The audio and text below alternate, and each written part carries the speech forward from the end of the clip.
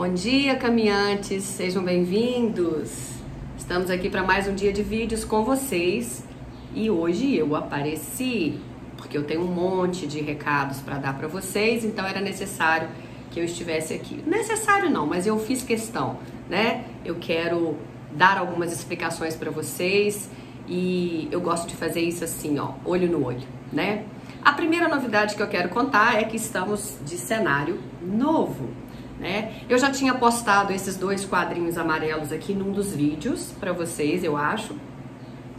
E eu queria que vocês vissem, porque eu fiz isso com tanto carinho. Para aqueles que não, não acompanharam, não assistiram o vídeo, eu já vinha falando com vocês que ao longo de 2022, que eu tinha feito aquele tratamento todo do coração, eu tinha ficado muito tempo em casa, né? Não podia sair, estava recuperando. Então eu descobri um novo hobby que é colorir. E aí, com esse livro de mandalas, que a gente compra em qualquer papelaria, eu fui colorindo as minhas mandalas. E aí chegou nisso que vocês estão vendo. O meu sonho era um dia colocar isso na forma de quadrinhos e transformar em cenário aqui para o canal e agora eu consegui.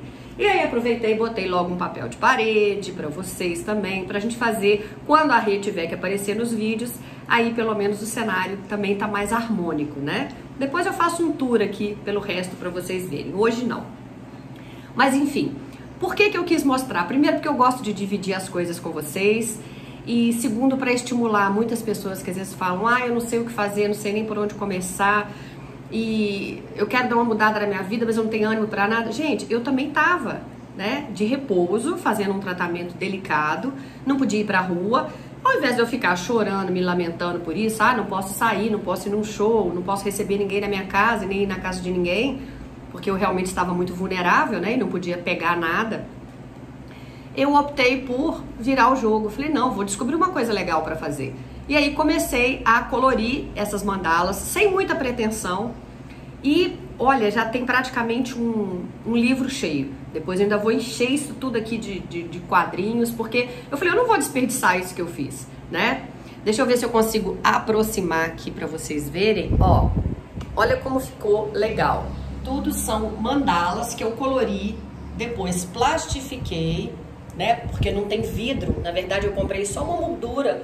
Coisa à toa, gente, né? De, tipo assim, moldura de, de porta-retrato, na verdade. E eu resolvi fazer, então, isso. Então, a gente consegue o que a gente quiser. Às vezes, a gente acha desculpas na vida da gente. Ah, eu não posso reformar porque eu não tenho dinheiro, eu não posso fazer aquilo, eu não posso sair na rua, então eu não posso fazer nada. Não, tá aí, ó. O resultado tá aí. A gente consegue o que quer tá? Primeira coisa, já tá dito. Segunda coisa que eu quero falar com vocês. Para quem tá acompanhando o canal há muito tempo e sabe, como eu acabei de falar da questão do tratamento do coração ano passado, chegou a hora da cirurgia. Então, se vocês estão recebendo esse vídeo hoje, provavelmente ele vai estar tá postado na quarta-feira, agora, dia 25 de janeiro. Eu vou estar tá operando no dia seguinte, dia 26, às 7 da manhã. Claro que eu conto com as orações, as preces e as melhores vibrações de vocês, porque isso faz toda a diferença na vida da gente. Uma oração é a coisa mais preciosa do mundo. Aliás, o que me manteve em pé foi a minha fé e as orações e as energias e as mesas radiônicas e os passes e os reikes que me foram enviados, enfim, tudo, né? Então isso é para vocês também não desistirem. Ah, Rê, mas você tá com a cara boa. Parece nem que você vai operar, né? Gente, a gente tem duas escolhas. Ou a gente entrega os pontos e se coloca como vítima da situação da vida, ou a gente agarra aquilo como uma, olha, eu preciso passar por isso, então vamos embora. O que, que isso tem de aprendizado para mim? Né? Então eu estou me preparando da melhor maneira e colocando a minha esperança lá no alto, a minha energia, porque eu preciso estar com uma vibração boa, porque eu sei que eu vou sair disso zerada, coração novo, cheia de energia, porque eu tô cheia de projetos para nós ao longo desse ano também. Mas eu quis vir dar essa satisfação para vocês. Vocês não vão ficar sem vídeos, ok? Eu fiz é, gravação de vários vídeos. A espiritualidade veio me intuindo ao longo desse, desse último mês que eu estava me preparando para isso, né? Fazendo papelada, exames e tudo. Então eu vou. Eu já deixei gravado vários vídeos para vocês, então não se assustem. Vocês vão ver vídeos aí meus e vão mas a Renata já tá de volta? Não. Eu gravei para que vocês não ficassem sem material e porque a espiritualidade estava me intuindo para isso, né? Hoje eu já tô aqui, ó, não é padrão Renata, ó, unha curtinha, sem esmalte, vocês estão acostumados a ver meu lado cigana aí mais forte, com as unhas sempre coloridas, cheia de anéis. Pois é, agora é basiquinho porque é, é pela unha que eles veem também se tem alguma coisa errado, né? Enfim, tudo muda, a gente vai se adaptando para as situações. Provavelmente eu vou ficar um mês fora, né? De 20 dias a um mês, não sei. A previsão são 15 dias iniciais de hospital. Eu não vou poder responder aos WhatsApps e as mensagens de vocês, provavelmente nem curtir os vídeos, a não ser que um dos meus filhos possa assumir esse cargo de curtir, mas não vou prometer, né? Porque menino você já viu. E eles ainda vão voltar às aulas também. Mas saibam que eu vou estar recebendo as vibrações de vocês. Eu só tô dando esse retorno para vocês não acharem, poxa, a Renata sumiu, ela sempre curtia os vídeos, ela comentava, ela não tá respondendo no WhatsApp, né? Não, é por isso, gente. Eu vou estar internada me recuperando para voltar 100% para vocês, tá bom? E é isso. Eu queria dar essa satisfação. A partir de amanhã, na quinta, então eu já vou estar sendo operada às 7 da manhã. Quem puder me mandar vibrações nesse momento e orações, eu vou ficar muito feliz. E não se assustem então, porque na sexta, sábado, domingo, segunda e na outra semana vão continuar chegando vídeos para vocês. Claro que eu conto com vocês lá para ouvirem as mensagens, para curtirem o vídeo, para compartilharem e até se quiserem deixar os comentários, não tem problema. Mais para frente, quando eu voltar, eu vou ler um por um, tá bom? E claro, já que estamos aqui, a gente nunca desperdiça oportunidade nenhuma da espiritualidade, né? Eu vou tirar umas cartas para nós. Mas aí para isso agora eu preciso, né, vestir a minha roupinha aqui de de enxergar o meu óculos, que sem ele não adianta. Eita, que esse vento tá que tá aqui hoje, ó, tô ficando todo descabelado. Bora lá então. Eu vou começar com um tarô. Gente, mas eu acho que eu vou ter que desligar esse ventilador, porque as cartas já estão voando. Não vai ter jeito não. Pera aí, gente.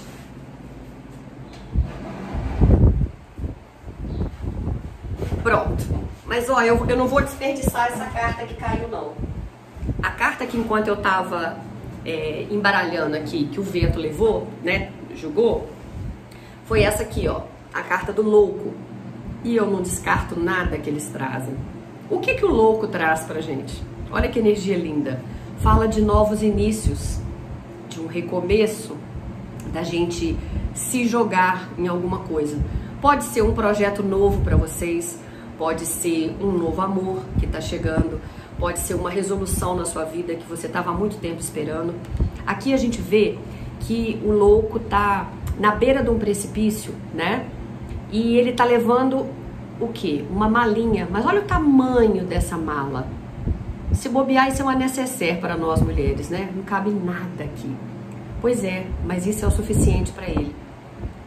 Fazendo uma analogia do que eu tô passando, eu tô entrando numa sala cirúrgica sem o quê? Sem nada a gente não tem nem a roupa da gente nessa hora, porque a gente é obrigado a usar uma veste de hospital, não é assim? Até por riscos de infecção, de uma série de coisas. Então a gente entra com aquilo ali. A gente vai com a cara e a coragem, porque é o que está sendo pedido pra gente.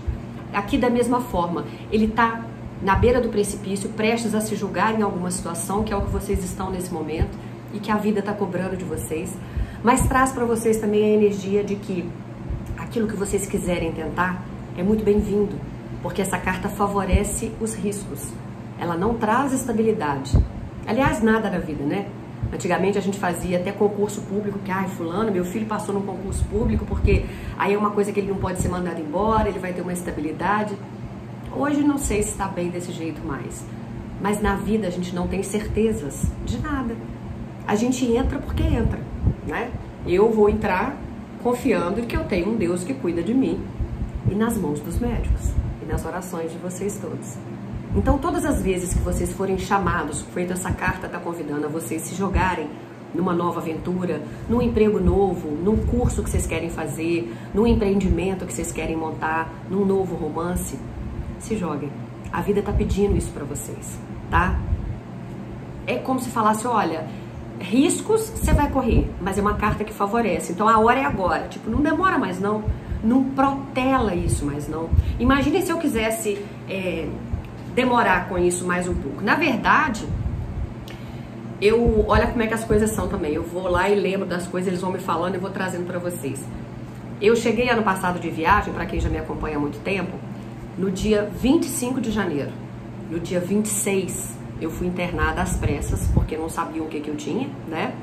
E aí eu fiquei 11 dias no CTI, fiz cateterismo, não estava nada bem.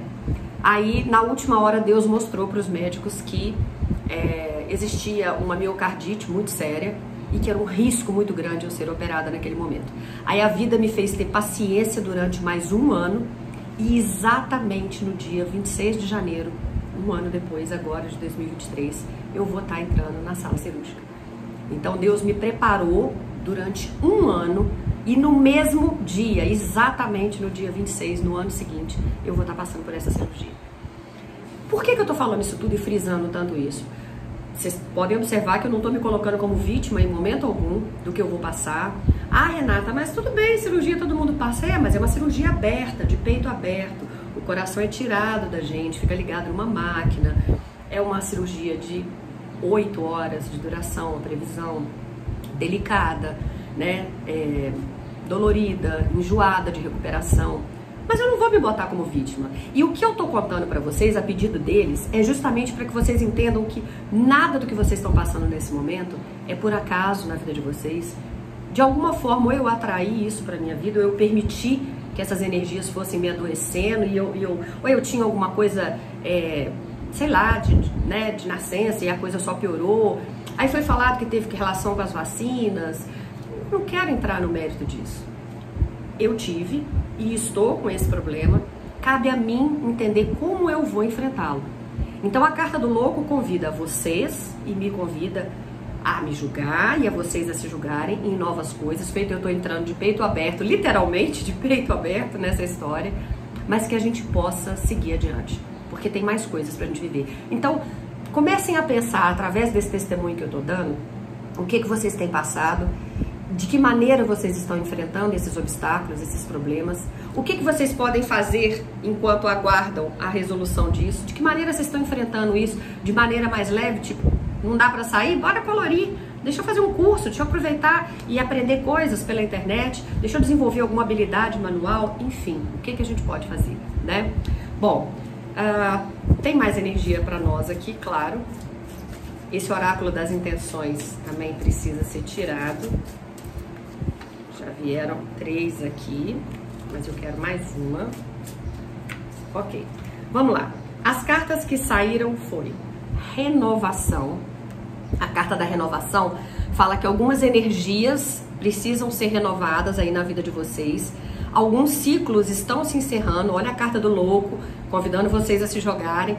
Então, alguns ciclos estão se encerrando para que outros se iniciem. Não adianta, para a gente seguir um novo caminho, alguma coisa tem que ficar para trás né? Então, alguns ciclos estão se encerrando para que outros comecem e pede que vocês aceitem com gratidão todas as mudanças que o universo está propondo. Ou vocês acham que eu vou sair dessa cirurgia com a mesma, mesma vida que eu levava antes? Não. Claro que eu vou ter restrições alimentares a partir de agora, questões de bebida, tipo, ah, eu gostava de uma cervejinha. É, mas cerveja não combina com o coração. A médica já me disse. Então não adianta, entrega para Deus. Aí eu adorava fazer spinning, que é aquele exercício de bicicleta que você levanta e abaixa, que é altamente é, forte, né? Puxa demais a parte cardiorrespiratória. Já me avisou que eu não posso também. Ou seja, então alguns ciclos estão encerrando na minha vida e talvez na sua nesse momento, mas é assim que tem que ser. Se você tiver aberto e receptivo, né, mãozinha aberta aí para aquilo que o universo tem para te trazer, você pode ser surpreendido com coisas novas chegando, né? A carta do perdão traz para vocês que é preciso muita coragem para a gente limpar mágoas do passado, perdoar e seguir em frente. Essa situação que eu passei também me fez enxergar várias questões da minha vida e como eu estive muito próximo do lado de lá, naquela época, ano passado, eu realmente liberei um tanto de energias da minha vida, repensei o que, que era prioridade para mim, o que, que tinha de fato importância e por que, que eu estava levando a sério tantas coisas e a ferro e fogo ali tantas coisas. Não, a gente pode melhorar, a gente pode trabalhar isso e falar: quer saber? Nada disso tem valor. Se eu tivesse ido naquele momento lá atrás, eu teria perdido esse último ano todo de vida dos meus filhos e a possibilidade de vê-los se formarem, futuramente casarem, né? De ver meus netos um dia. Atrás disso, outras tantas conquistas que eu poderia ter. E no entanto, a vida está me dando essa chance. Então, para que que eu vou ficar? Mas por que eu? O que, que eu tinha que passar por isso? Tanta gente ruim? Não, eu tô no mesmo barco, no mesmo barco que todo mundo, né? Aqui fala que o ressentimento que você carrega no seu peito paralisa as suas ações, que o medo que você sente de começar algo novo impede você de crescer. Já imaginou se eu falasse, não vou entrar, tô morrendo de medo, né? Tem gente que morre com uma anestesia, morre, mas tem gente que morre escorregando um sabonete dentro do banheiro e bate a cabeça. E aí? Não, a gente não pode ter medo. Aqui pede que vocês liberem essa energia. Se tem algo preso no seu coração nesse momento, a hora é agora de soltar essa energia. Porque o maior beneficiado do seu perdão é você. Quando você perdoa, é você quem fica livre desse fardo. É você quem para de ter o medo de avançar, tá?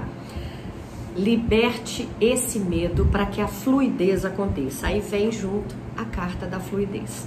Então, olha, liberte-se da energia das pessoas que te feriram e que te fizeram o mal, porque o ressentimento, a mágoa, o medo, o, né, a falta do perdão impede a fluidez de acontecer. E a fluidez está aqui, esperando para chegar na sua vida. O conselho dessa carta para vocês é: abra o seu coração para o sentimento de expansão ilimitada, para que você possa alcançar os seus sonhos. Quanto mais vocês habitarem no sentimento de abundância, mais abundantemente o seu sonho tem possibilidade de acontecer, tá? E aí vem a carta do florescer. O que mais que a gente quer na vida? Quando você joga uma semente na terra, você quer ver fruto, né? Você quer que um dia isso vire uma árvore e te dê frutos. Quando você planta a sua florzinha lá, você quer que o seu jardim fique florido logo depois, não é isso? Então tudo aquilo que a gente está plantando hoje é resultado da colheita que virá para a gente. Então, cuidado com aquilo que você está semeando. Cuidado se você está tendo muitos sentimentos negativistas, se você não está cuidando de você, da sua criança interior, né? Aqui fala que quando, quando a gente acolhe a nossa essência e a gente percebe que a gente é merecedor, as coisas começam a fluir para a gente. E aí o universo responde ao nosso chamado e aí começa o florescimento, né? Voltando um pouco para minha história de vida, vocês sabem que a minha formação é outra. Eu sou formada em turismo, fui estudar jornalismo, fui fazer outras coisas e a espiritualidade tinha um propósito para mim que era me trazer para cá. Eu relutei durante anos e hoje eu estou aqui. Hoje, naquela época eu não enxergava o que estava previsto para minha vida, como vocês hoje não conseguem enxergar além da linha que está sendo oferecida para vocês. Então hoje, vocês são capazes de falar comigo, Renata, eu não tô vendo melhora na minha vida, eu não tô vendo nada acontecer, eu não vejo uma melhora profissional, uma melhora financeira. A minha vida amorosa, tudo que sempre começa depois de um certo tempo em barreira e para, não é assim? Só que tem um propósito pra gente. Tem aquela parte que a gente pode fazer, como eu falei aqui, ó. Eu fui trabalhar outras coisas, eu fui trabalhar o meu interno, eu fui entender por que, que a espiritualidade estava me tirando do atendimento, por que, que eu estava tão debilitada né? Eu fui trabalhar essa parte, era o que me tinha, era o que era, me era oferecido naquele momento, tá certo? Vocês também. Talvez você esteja passando um momento difícil nesse momento. Um momento difícil nesse momento é ótimo, né? É, eu me atrapalho toda na câmera, gente. Eu fico nervosa de estar aqui perto de vocês. Mas talvez você esteja passando um momento difícil na sua vida e não consegue enxergar uma solução. Mas eu te afirmo que isso tudo vai passar. Como passou para mim, como passa para todo mundo. Então comece a enxergar a história com outros olhos. Tente ver o que, que a espiritualidade está querendo trazer para você como aprendizado e se prepare, porque tem um florescer aí na sua vida. Isso é uma promessa. Isso já é um spoiler da espiritualidade, né? Bora ver o que, esse oráculo traz, traz pra gente aqui. Ah, olha que lindo, gente. Renato, uma menina saindo correndo com a mão na cabeça, meio desesperada, é lindo? Claro que é. Se você pensar que a carta chama tempestade e embaixo fala que toda tempestade, todo furacão, todo tsunami, tudo de caos na vida tem um começo, mas tem um fim. Bom, eu já tomei posse dessa bênção, porque se tem um fim, meu fim vai ser na cirurgia. Não o fim da minha vida, amarrado, não. O fim do meu problema. Porque aí eu deixo de viver essa vida meia boca que eu estava me levando, sem poder fazer esforço, sem poder estar com as pessoas que eu amo, sem poder fazer nada, sem viajar, para começar a viver aquilo que eu sou merecedora. Então eu tomo posse, né? Para isso eu tenho que deixar fluir. Eu tenho que passar pelo processo primeiro da cirurgia, da dor, da recuperação, para depois eu ter acesso àquilo que eu sou merecedora. Então, não duvide a sua tempestade, isso que você está passando nesse momento, está prestes a ter um fim, tá? Bora mais? Bom, né? Aí vocês vão falar, Rê, mas você tá calma? Você realmente está nessa segurança toda para a cirurgia? Metade de mim tá, claro. Por quê? Porque tudo é fé. A gente tem que acreditar. A outra metade tá tensa. Por quê? Imprevistos acontecem né? Não vou falar com vocês, ai, é, esse vídeo que eu tô gravando eu tenho medo de ser hoje. Tem nada, tem nada. Eu sei que meu propósito aqui embaixo é muito grande ainda. Mas a gente tem que viver. Você não pode deixar de se envolver com uma outra pessoa, por exemplo, falando em termos de amor aí para alguns, com medo de que isso vai acontecer. Ah, vai dar errado de novo, porque da outra vez já deu errado. Porque nada que eu comece dá certo. Olha só, olha sua mente como é que já tá. Já vai dar errado, sempre deu errado, eu só atraio isso. Bora mudar esse padrão de energia para você atrair aquilo que é seu de merecimento. Volto a falar na carta do florescer ali, tá? Aqui tem uma mulher voando sem asas, né? Sem recurso nenhum. Então, como é que ela tá fazendo isso? Aqui a carta chama ventos e fala: você nunca precisou de asas para voar. Você tá aí alegando que não consegue fazer determinada coisa na sua vida porque não tem uma condição financeira, ou porque a situação não está favorável, não tem ninguém que te apoie, né? Uh -uh. A gente vem sozinho e vai sozinho. As pessoas que nos acompanham ao longo da vida vêm para agregar, mas não que a gente precise dessas pessoas para fazer aquilo que a gente quer. Então, se você estiver numa atitude nesse momento de codependência com alguém, cuidado, sai fora. Você é muito mais forte do que você imagina. E aqui a gente tem a carta da nostalgia. Tem duas meninas, duas amigas, conversando numa mesa de bar, né? E uma delas tá falando aqui, ó. Essa aqui tá falando alegre, tá? Com os braços ali gesticulando para outra. E a outra, que são vocês aí, ou que poderia ser eu nesse momento aqui também, olha a cabeça. Parece aquela nuvenzinha da família Adams, né? E aqui tá dizendo, foca no seu aqui e agora. Para que, que você está pensando naquilo que já não deu certo no passado? Aquilo não volta. Você também não tem controle sobre a sua vida em termos de futuro, que eu tô dizendo, né? Você não sabe o que, que vem por aí. Foca no melhor. Joga a sua energia e fala, universo, como é que isso ainda pode melhorar? E ó, tudo vem a mim com facilidade, alegria e glória. Amor. Solta a sua energia, como veio o perdão aqui. Sinto muito, me perdoe, eu te amo e sou grato. A gente tem que ser grato por tudo que vem pro caminho da gente. Eu sou grata por ter essa cirurgia na minha vida. Claro que eu sou. E se eu não tivesse jeito? E se não existisse um plano de saúde? E se eu não tivesse uma família que me apoiasse enquanto eu vou ficar esses 20 dias né, lá internada? E se não tivesse nem solução para o meu problema? Entende onde eu quero chegar? A gente precisa estar tá atento àquilo que cai na nossa mão para a gente não fazer daquilo uma tempestade em copo d'água, mesmo porque a gente já viu nessa carta aqui que toda tempestade tem um início, mas tem um fim. Então solta esse problema, acredita que isso tem uma solução. E eu tô procurando meu baralho aqui, é claro que eu vou tirar ele hoje, né? Ah, vamos ver, vamos ver o que, que vem por aí. Opa, opa! Pulou estrela, pulou cegonha. Peraí que a gente já vai falar. Deixa eu só ver se tem mais algum recado. É, você quer cair, né? Ah, foi, tá bom.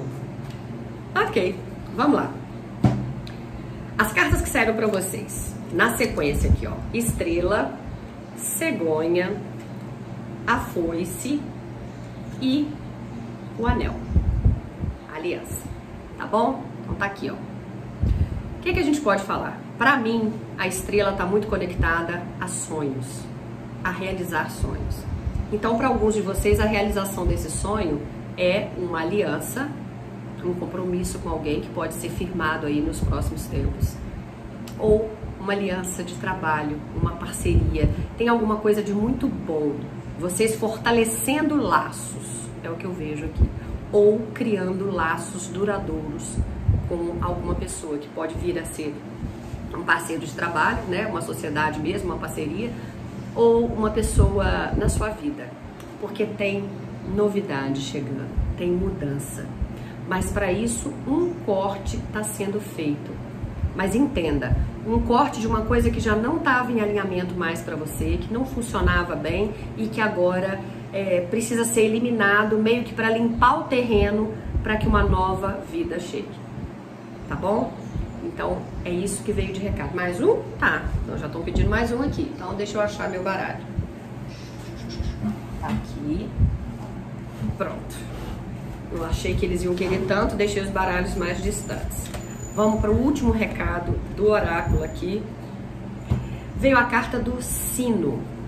A carta do sino traz para vocês que uma reflexão sobre a sua vida. Gente, eu tô cruzando as pernas aqui, que eu sou igual criança, certo? Perna cruzada a reflexão sobre a sua vida, sobre os seus sentimentos e sobre o seu comportamento é muito importante nesse momento.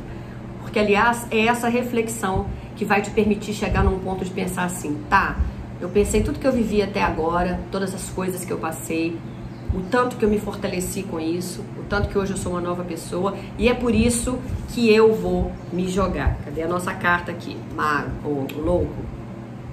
É, o mago fala de manifestação também, de qualquer maneira, né? Então a hora é agora, né?